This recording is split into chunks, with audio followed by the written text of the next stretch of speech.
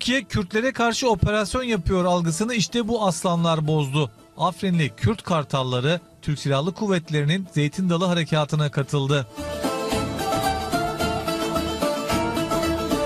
Kürt kartalları Özgür Suriye Ordusu bünyesindeki Sukuru Erkat Tugayı'na bağlı özel eğitimli Bordo Bereli seçkin bir birlik.